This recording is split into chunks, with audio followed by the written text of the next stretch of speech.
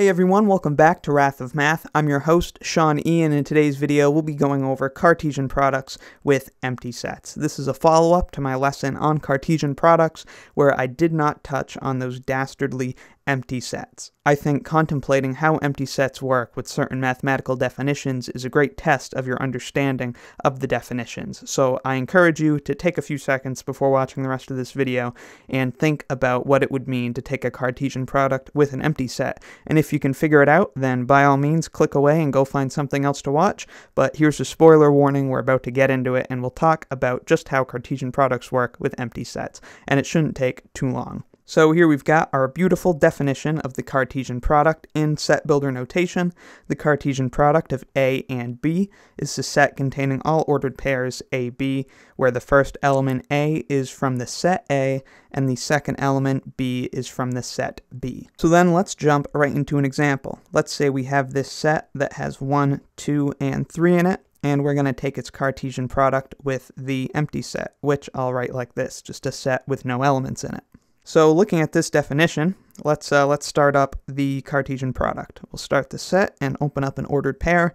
The first element has to be from this set, remember, from the definition. That's no problem. Let's take one, and then the second element has to be from this set. So we can't take anything because it's the empty set. Oh no. So in fact, let's go ahead and erase this ordered pair and close the bracket. There is no ordered pair in this set. There's no element in that set.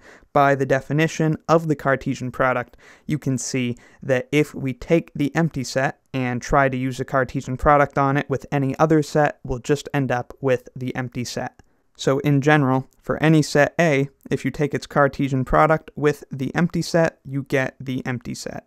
And of course, in this case, it doesn't matter what order you do it in. If you take the empty set cross with A, you again just get the empty set, because you can't take any elements from the empty set to make an ordered pair.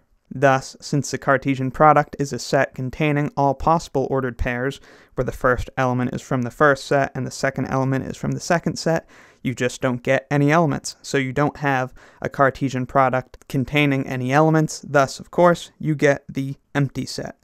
And that's really all there is to it. So the Cartesian product of any set with the empty set is the empty set. So I hope this video helped you understand how Cartesian products work with empty sets. Let me know in the comments if you have any questions, need anything clarified, or have any other video requests. Thank you very much for watching, I'll see you next time, and be sure to subscribe for the swankiest math videos on the internet. I can't wait for my world to turn over